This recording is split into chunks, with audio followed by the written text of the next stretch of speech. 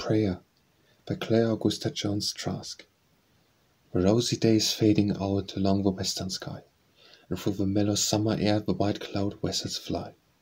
A breath of odor faint and sweet comes from the meadow's breast, and all the earth and heaven lie serene in quiet rest. The universe sleeps tranquil beneath the eye of God, and their feet are resting now, which devious ways have trod. Shall lack of faith and lack of hope disturb and heal my breast? Stopped of heaven's mercy fill me with vague unrest? Perplexed and dark my spirit is, I cannot see the way, and grim night flings its banners out across the brow of day.